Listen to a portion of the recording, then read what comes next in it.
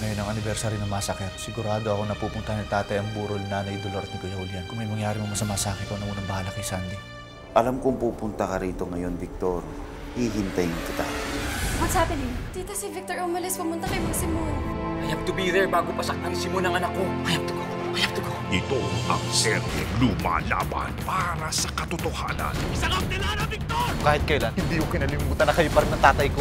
Dugong buhay. Ang huling linggo